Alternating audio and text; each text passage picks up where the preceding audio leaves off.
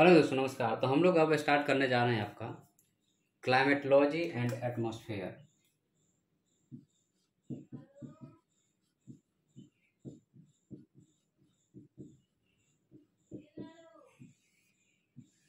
जो एटमॉस्फेयर है, यह आपका क्लाइमेटोलॉजी का ही टॉपिक है, ठीक है? तो एक्चुअल में जो एटमॉस्फेयर है तो आपका यह अर्थ हो गया और अगर सही मायने में एटमॉस्फेयर की आप बात कीजिएगा तो पाँच सात किलोमीटर ऊपर तक जो है सो एयर डेंस रहता है।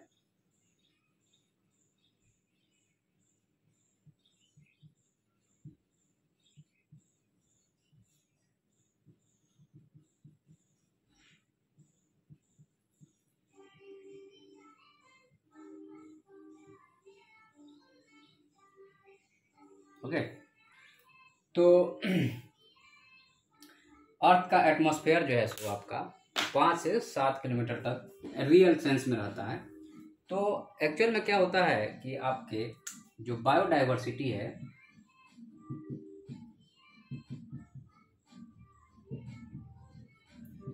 बायोडाइवर्सिटी में जितने भी आपके बड़े जीव हैं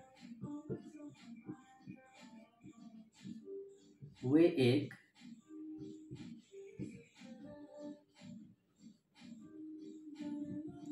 क्लाइमेटोलॉजिस्ट या मौसम विज्ञानी हैं।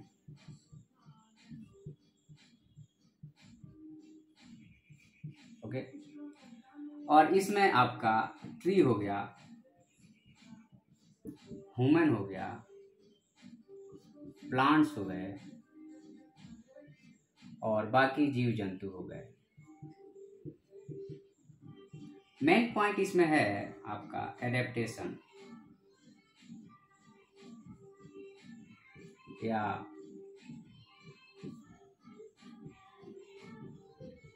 समय के साथ बदलाव करना. यह सबसे मेन पॉइंट है. जो जीव समय के साथ में जो डिमांड है, उसके साथ में अगर वह बदलाव नहीं करेगा तो वह एग्जिस्ट नहीं करेगा इस एटमॉस्फेयर में. तो हम लोग भी हैं, धूप में कब निकलते हैं, कब हमें निकलना है उसके बारे में देखते हैं। हमारे जो गाँव में पहले के ज़माने में, जो इवन एट हमारे फादर या हमारे दादाजी या बाकी लोग, वो बता देते थे कि आज बारिश होगा या नहीं होगा। जब बारिश का मौसम रहता था तो आज बारिश होगा कि नहीं, कितना देर बारिश होगा। और उनकी जो आपका एक तरह से एक्सपेक्टेशन था, जो बोलते थे, वो सही निकलता था। आज जो आईएमडी और बाकी हम लोग साइंटिफिक मेथड से आज कहते हैं कि आज रिलेटिव ह्यूमिडिटी इतने परसेंट है तो विंड का डायरेक्शन ये होगा, इतना स्पीड होगा। ये हम लोग इंस्ट्रूमेंटली कैलकुलेटेड कर रहे हैं डेटा के आधार पे, जो मेटा डेटा एक तरह से बिग डेटा एनालिटिक जो कहा जाता है, जिसके लिए सुपर कंप्यूटर की ज़रूरत पड़ती है। तो वो चीज़ को वो लोग पहले अनुभव के आधार पर बता देते थे, वो सही होता था।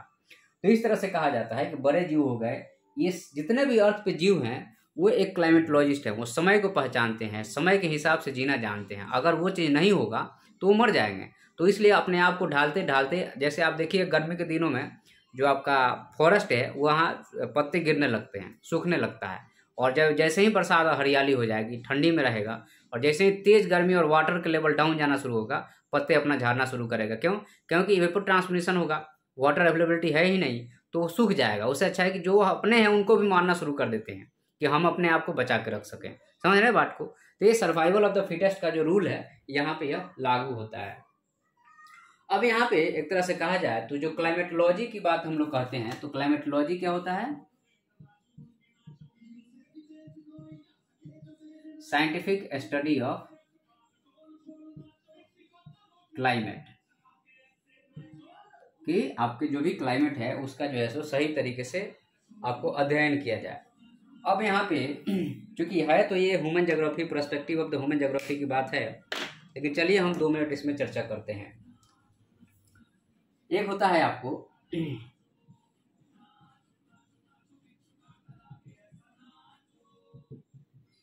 क्वांटिटेटिव अप्रोच और दूसरा होता है क्वालिटेटिव अप्रोच तो इसमें हम लोग जो है सो बिग साइज़ को कंसीडर करते हैं। और यहाँ पे आपको एक तरह से कहा जाए तो कोई निश्चित डेफिनेट रूल निकालना मुश्किल है, लेकिन यहाँ पे जो है सो आप रूल बना सकते हैं। तो यहाँ पे आपको जो है सो एक्सपेरिमेंटल के लिए चीज़ें भी चाहिए ज़्यादा ज़्यादा से एक्सपेरिमेंट करना पड़ेगा।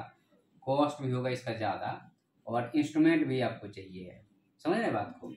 तो जब आपका नए नए इंस्ट्रूमेंट आए तो क्वालिटेटिव के अप्रोच की तरफ़ बढ़े फिक्स्ड और एक डिफिनेट पैटर्न पे बढ़े ठीक है, ये हम लोग जो है सो पढ़ेंगे। ह्यूमन जोग्राफी जब पढ़ेंगे तो वहाँ पे इसकी चर्चा होगी और बहुत डिटेल में होगी क्योंकि इस पर एक चैप्टर ही है।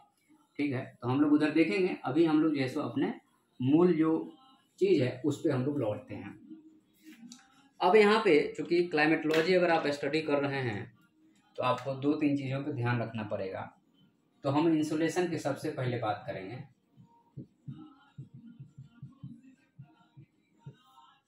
जिसको है जैसो आतपन बोलते हैं। या कहिए कि सूर्या तप भी बोला जाता है। तो हम आपको पढ़ा चुके हैं कि यह जो है सो जब आता है तो शॉर्ट वेव में रहता है। और जो है सो यहाँ पे आपका अर्थ इसको कैप्चर करता है। और कैप्चर करने के बाद में जब यह रेडिएट करता है तो लॉन्ग वेव के रूप में यह रेडिएशन होगा। तो हमें शॉर्ट वेव के रूप में मिला और रेडिएशन जो होगा लॉन्ग वेव के रूप में जब होगा तो यहाँ पे क्या होगा कि जो आपका गैसेस है प्लस डस्ट है और प्लस वेपर है, इसको क्या करेगा? कैप्चर करेगा। और जब कैप्चर करेगा तो टेम्परेचर को अर्थ के चारों तरफ़ बैलेंस करेगा। ओके तो ये आपका अर्थ हो गया और ये इसका वायुमंडल हो गया। इधर आपका सूरज हो गया, ओके?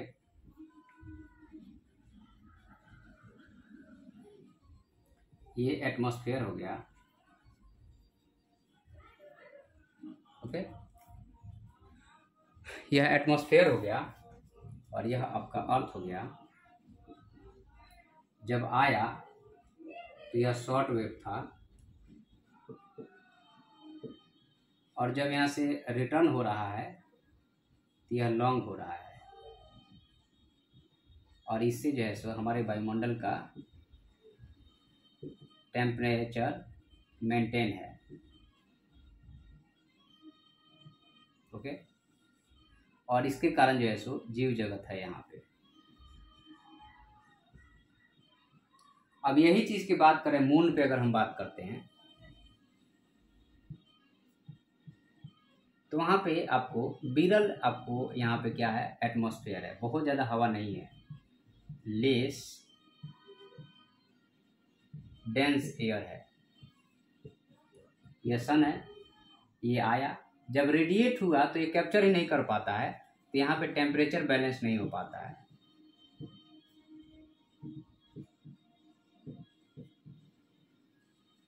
तो आपको यहाँ पे, जहाँ सूरज रहेगा, यहाँ पे 400 डिग्री सेल्सियस हो जाएगा और इधर जो है, सो माइनस में 200 डिग्री सेल्सियस होगा। रात में नेगेटिव में चला गया, दिन में चाहे तो इसमें कैसे आदमी सर्वाइव करेगा?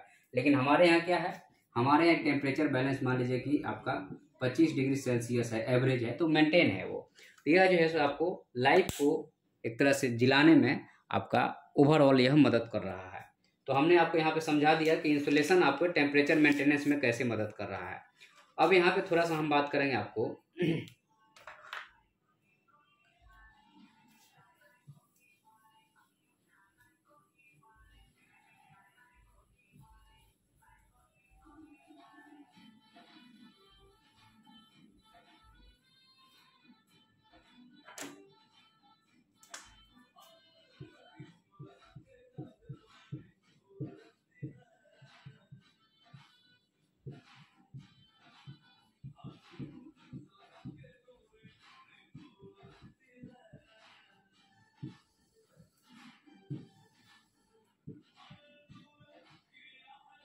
टू एंड ग्लोबल वार्मिंग ठीक है? तो आपका सीओ टू और ग्लोबल वार्मिंग की अगर हम चर्चा करते हैं यहाँ पे तो आपको पता है कि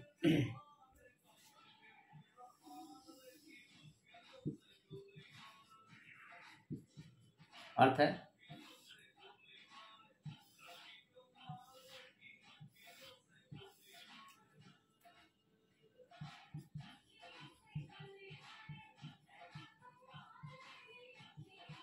ये ट्रोपोस्फेयर हो गया।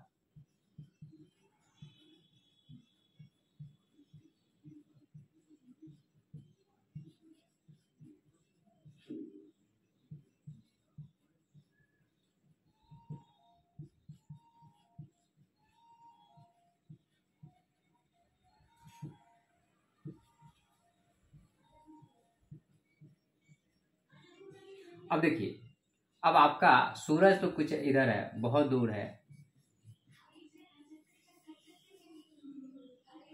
ये शॉर्ट वेव के रूप में आया और ये ट्रोपोस्फेयर जो है आपका।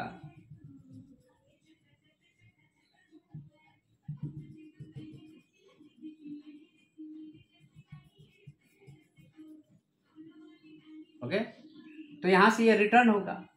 रिटर्न होगा अगर यहाँ पे सी की मात्रा बढ़ती है सी की मात्रा बढ़ती है सी की मात्रा बढ़ेगी तो क्या होगा? तो इस एरिया में इधर मेरे ख्याल से दिख नहीं रहा आपको? हम्म। यहाँ पे टेम्परेचर का वैल्यू बढ़ जाएगा। क्योंकि जो ये रेडिएशन होगा तो रेडिएशन को सीओ टू कंप्लीट कैप्चर करते जाएगा कंप्लीट कैप्चर करते जाएगा कंप्लीट कैप्चर करते जाएगा और टेम्परेचर बढ़ाते जाएगा। तो यहाँ पे आपको पोल्स हैं, ये नॉर्थ पोल और साउथ पोल्स है। यहाँ की जो ग्लेशियर है, जो कि आपको पता है कि लैंड जो है अर्थ सरफेस पे वन बाई थ्री है और थ्री पार्ट जो है सो वाटर है। तो अब यहाँ पे यह ग्लेशियर मेल्ट होकर के इधर आना शुरू होगा इक्वेटर के साइड में। और यहाँ के लोग जो है सो डूब के मरना शुरू होंगे और इधर लैंड खुलना शुरू होगा, इधर लैंड खुलना शुरू होगा। ये क्यों क्यों हो रहा? है क्योंकि आप जो है सो, जो यहाँ पे मेंटेन था सी की मात्रा, उसको आपने अनबैलेंस किया। जब अनबैलेंस किया तो सिस्टम में जो है सो पूरा का पूरा सिस्टम ही अनबैलेंस होना शुरू हो जाएगा और क्लाइमेट चेंज शुरू हो जाएगा, ठीक है?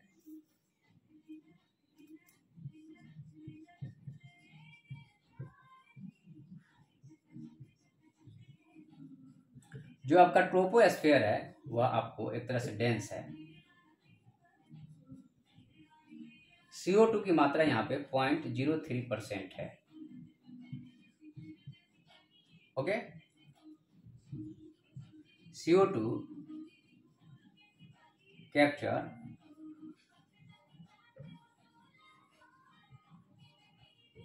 earth radiation को और मेंटेन टेम्परेचर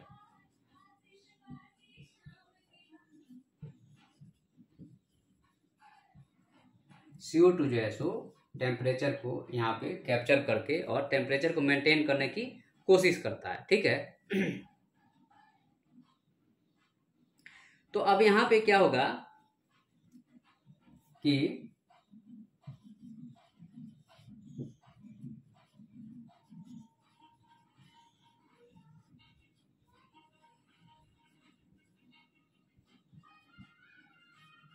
तो डे टाइम में जो है, सो आपको ज़्यादा लॉन्ग वेव रहेगा नाइट के बनिस पर। इसी को कहा जाता है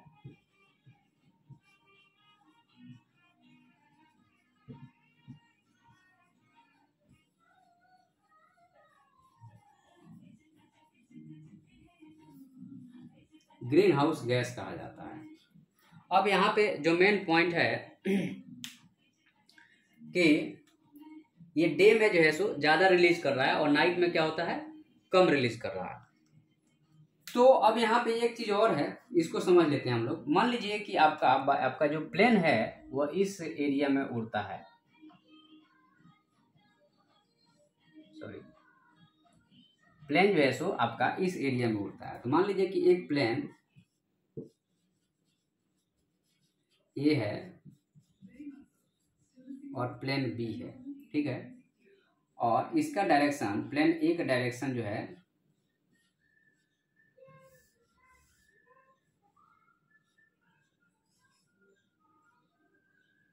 एक का डायरेक्शन जो है सो इस डायरेक्शन में है और दूसरे का डायरेक्शन इसमें है।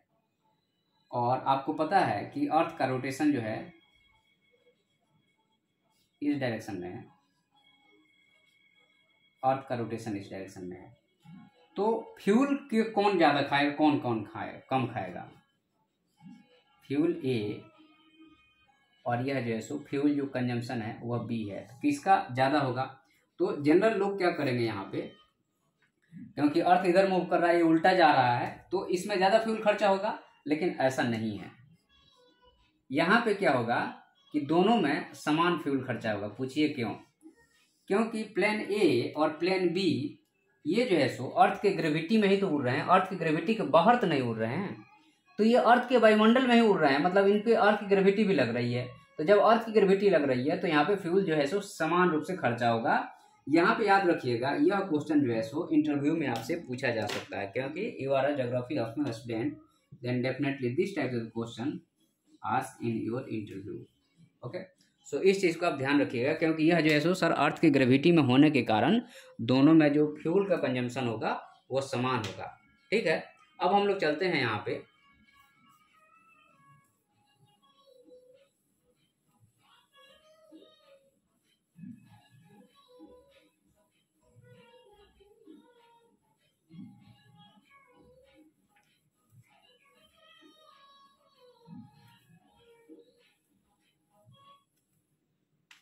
अब हम बात करेंगे यहाँ पे काउंटर रेडिएशन की।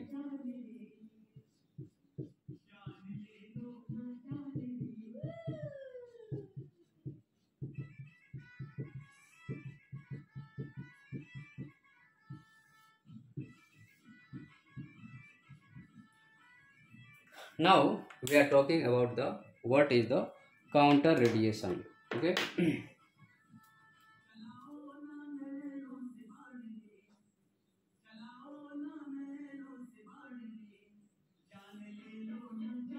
अब यहाँ पे क्या होगा? देखिए समझ लीजिए पहले।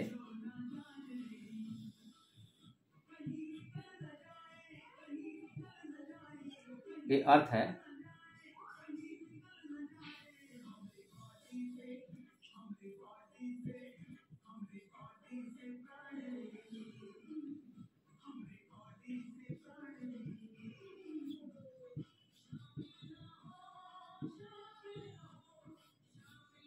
ये डे है और ये नाइट है।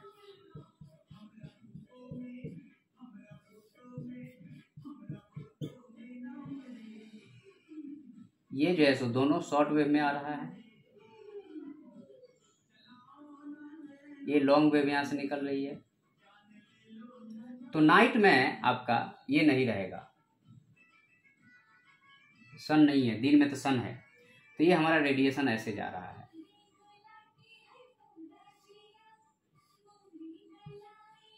ठीक है? तो यहाँ पे आपका एक हाई टेम्परेचर बना है। और नाइट में तो यह निकलना बंद हो गया, क्योंकि सन आना बंद हो गया, लेकिन ऊपर एक हाई टेम्परेचर बना है। और नीचे क्या होगा? लो टेम्परेचर हो गया। तो अब रेडिएशन जो है सो बैक आने लगती है। एटमॉस्फेयर से नीचे आने लगती है। क्यों? क्योंकि पृथ्वी के नीचे यहाँ पे सरफेस पे टेम्परेचर कम कम हो गया। तो इसके कारण क्या होता है? यहाँ पे मेंटेन टेम्परेचर बैलेंस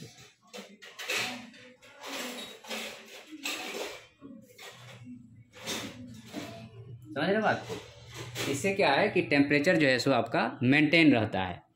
ओके तो ये इंपॉर्टेंट पॉइंट है, इसको नोट डाउन कर लीजिएगा। तो यहाँ पे सबसे पहले इससे क्या होता है?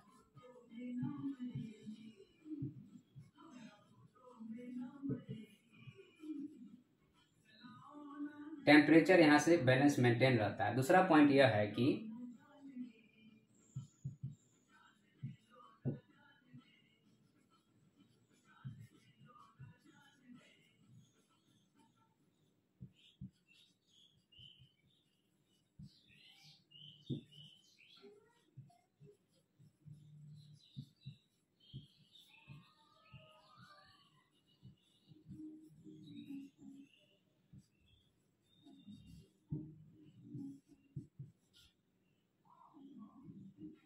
ठीक है? तो यहाँ पे एक तरह से कहा जाए तो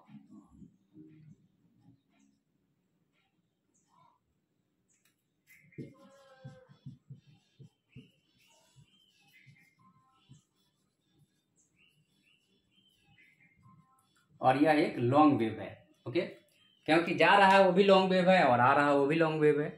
तो यहाँ पे ये चीज़ें जो है सो दो पिक्चर बना करके अगर आप इसको रिप्रेजेंट कर देंगे तो आपको अच्छा नंबर मिल जाएगा।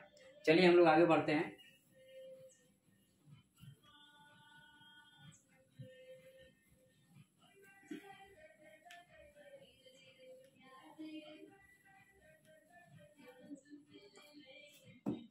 अब हम लोग पढ़ेंगे यहाँ पे।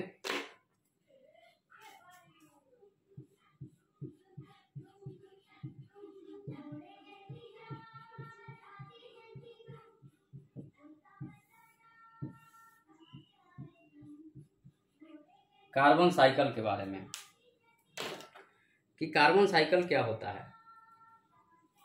देखिए सीओ टू जो एयर में है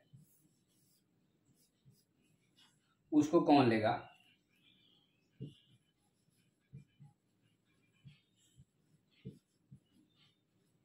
उसको ट्री लेगा, जिसको और ये प्रोड्यूस है, इसको कहा जाता है आपको।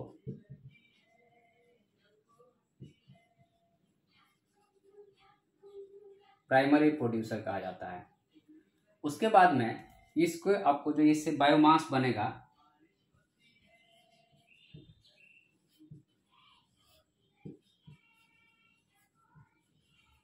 अदर क्रिएटर है जीव जो है सो इसको खाएगा। जो भी आपका यहाँ से मटेरियल बना है, उसको दूसरा जीव खाएगा। और जब यहाँ से दूसरा जीव खाएगा, फिर जो है सो, यह डे डेड करेगा, मरेगा। समय के साथ में डेड होगा, फिर क्या होगा यह? डिके होगा। और जब डिके होगा तो यहाँ पे आ गया। और यहाँ पे एक तरह से कहा जाए ट्री भी यहाँ पे डेथ होगा। तो भी यह रिटर्न होकर यहीं पे आएगा। और ये जो है सो यह भी जीव अगर खा रहा है, यह भी मरेगा तो भी यहीं पे आएगा। ठीक है? तो यह जो है सो एक तरह से कहा जाए तो यह एक कार्बन साइकिल है। ठीक है? और यहाँ पे जो कैप्चर कर रहा है ट्री जो कैप्चर कर रहा है, वह आपको सिक्स सी ठीक है? और फिर जो है सो आपको यहाँ पे एस टू ओ के साथ मिल करके C six S twelve O six का यहाँ पे निर्माण हो रहा है। या कहिए कि आपको सी ओ टू और एस टू मिल करके एक तरह से कहा जाए तो सी ओ टू और एस टू मिल करके ये जो है सो कार्बोहाइड्रेट बनाते हैं। दैट इज़ द कार्बोहाइड्रेट और यह कार्बोहाइड्रेट जो है सो एक तरह से इसमें कार्बन की मात्रा है और इसी कार्बन की मात्रा को पेड़ पौधे लेते हैं और फिर यह जो है सो साइकिल चलता रहता है। ठीक है? तो यहाँ पे मेन जो फैक्टर है आपका, वह क्या है? तो वह जो है सो सन है। सन ही यहाँ पे, चूँकि इस रिएक्शन को कराने के लिए जो है सो मेन फैक्टर है, वह क्या है? यह सूरज है। और यही इनिशिएट करता है इसको ओके तो इस चीज़ को हमें ध्यान रखना है कि what is the main factor अब हम लोग यहाँ पे नेक्स्ट पॉइंट देखेंगे आपको ग्लास हाउस के बारे में।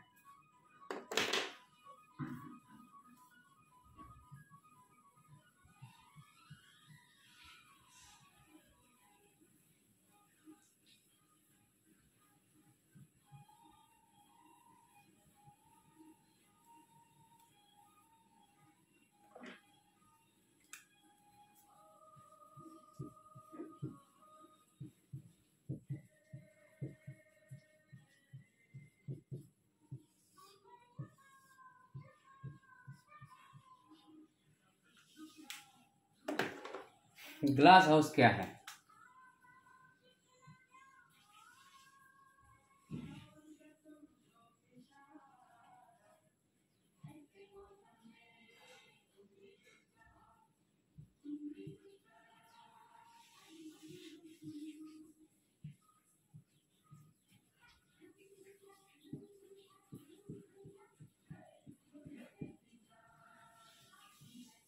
अब देखिए आपको पता है कि यह एक आपका ग्लास हाउस है।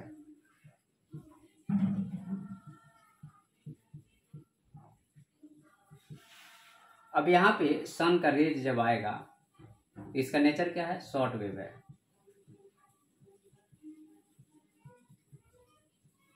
ओके नेचर इसका शॉर्ट वेव है। ये इसके अंदर आएगा। जब अंदर आएगा तो कहीं ना कहीं पड़ेगा। पढ़ने के बाद में उसको अवशोषित करेगा। और जब ये अवशोषित करेगा, जब ये रिटर्न होने की कोशिश करेगा तो रिटर्न नहीं हो पाएगा।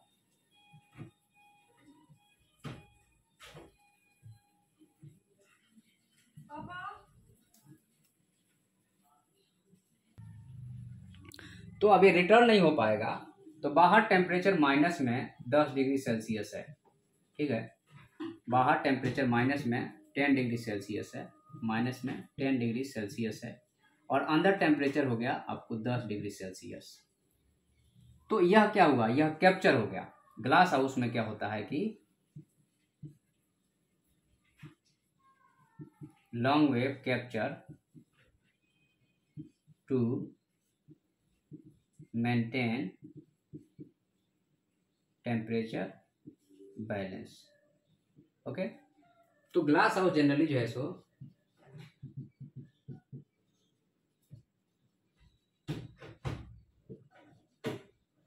ग्लास का बना होता है।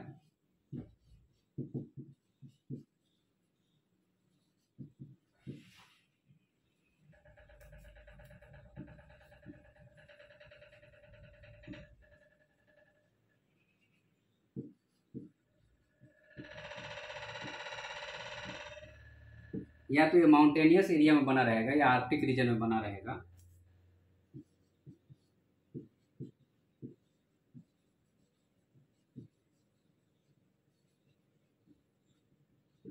लॉन्ग वेव यहाँ से एस्केप नहीं होता है, ठीक है?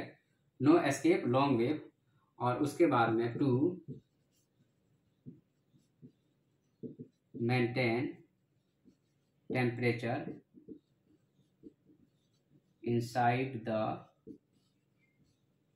glass house तो यहाँ पे टेम्परेचर मेन जो है तो बैलेंस रहता है या बना के रखता है ग्लास हाउस इसीलिए चूँकि यहाँ पे खेती की जाती है या रहने के लिए लोग इस टाइप के घर बनाते हैं, जो कि हाई एल्टीट्यूड पे है या हाई लेटीट्यूड वाले एरिया में जहाँ टेम्परेचर कम है, वहाँ पे इस टाइप के घर बनाए जाते हैं। That is called the glass house okay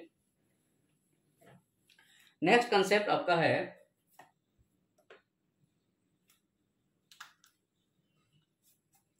कोल के बारे में थोड़ा सा देख लेते हैं। कोल से यह जब बर्न होता है तो यह जो है सो आपका CO2 की मात्रा हमारे एटमॉस्फेयर में बढ़ाएगा।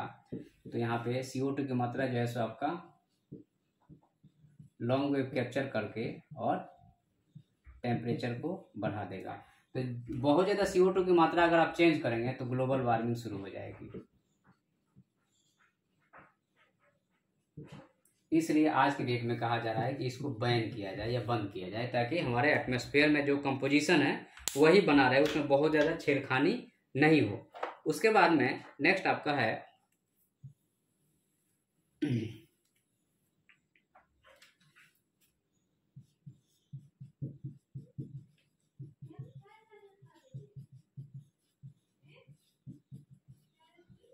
सीओ टू का डिस्ट्रीब्यूशन की अगर आप बात करते हैं तो यहाँ पे तीन चीज़ पे ग्लोबल लेवल पे आप देखिए। रीजनल देखिए और लोकल देखिए। ग्लोबल रीजन में अगर हम देखते हैं तो यहाँ पे आपको नॉर्थ ईस्ट यूएसए हो गया वेस्ट यूरोप हो गया और ईस्ट में आपका चाइना हो गया। रीजनल लेवल पे देखते हैं आपको तो दिल्ली हो गया मुंबई हो गया, और लोकल लेवल पे देखें अगर हम तो आपका एनटीपीसी का कोई पावर प्लांट हो गया। तो एक तरह से कहा जाए तो यहाँ पे आपका ये नॉर्थ अमेरिका हो गया, ये आपका यूरोप हो गया, और यह जो है एशिया हो गया। तो ये ग्लोबल लेवल पे हो गया कॉन्टिनेंट वाइज देखें तो। यहाँ पे जैसे distribution of the C O two according to the development क्योंकि जहाँ ज़्यादा डेवलपमेंट होगा, वहाँ ज़्यादा उस चीज़ का यूज़ होगा, ज़्यादा टेक्निकल टेक्नोलॉजिकल इनोवेशन होगा, वहाँ पे इसकी बैलेंस अनबैलेंस देखने को मिलेगी। नेक्स्ट पॉइंट हमारा है यहाँ पे।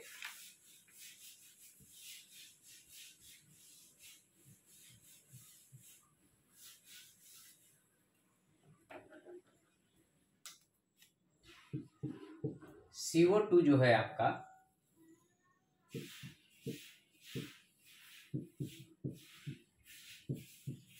गुड और सीओ टू बैड मतलब कि सी गुड है और कहीं पे सी बैड है तो उसके बारे में थोड़ा नज़र डाल लेते हैं हम लोग। ठीक है? तो यहाँ पे गुड पॉइंट की बात करते हैं तो आपको यहाँ पे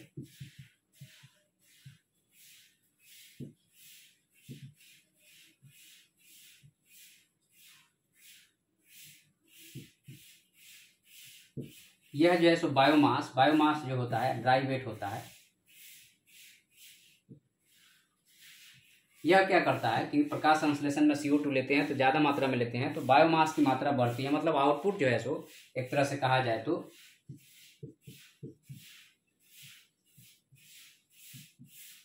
क्रॉप आउटपुट यहाँ से बढ़ जाता है, ठीक है? तो क्रॉप आउटपुट जो है यहाँ पे बढ़ गया है और यहाँ पे ऐसा कहा गया है, इकार के हिसाब से महाराष्ट्र में जो है सो, आपको कपास या कॉटन का प्रोडक्शन फोर्टी परसेंट इंक्रीज कर गया है ड्यू टू सीओ टू के बढ़ने के कारण। कितना percent there is the forty percent increase bad क्यों है? बैड इसलिए है कि यह जो है आपको ग्लोबल वार्मिंग कर रहा है। ग्लोबल वार्मिंग कर रहा है और उसके बाद में ह्यूमन डिज़ीज़ हो रहा है।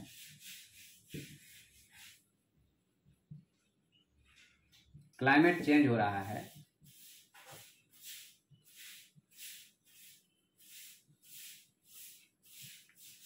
और मानसून के पैटर्न में चेंज आ रहा है। ये जो है तो आपका बैड हो गया। बैड जो थॉट है ये है। अब उसके बाद में नेक्स्ट हम लोग देखते हैं यहाँ पे कि इसको रोकने के लिए क्या क्या किया जा रहा है भाई।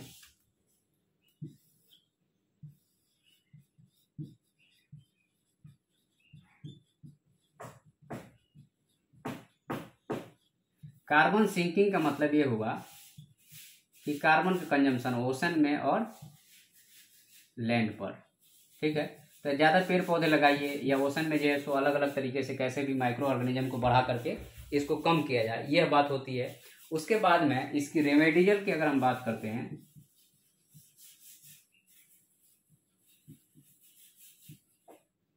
तो आपको environment nation United Nation Environment Programme हो गया। उसके बाद में जो है सो आपको क्योटो प्रोटोकॉल हो गया। इस टाइप की चीज़ें जो है आपको यहाँ पे इसको रोकने के लिए चलाई जा रही हैं, ठीक है? जिसके बारे में हम लोगों ने यहाँ पे बात किया। ओके तो इस लेसन में इतना ही है।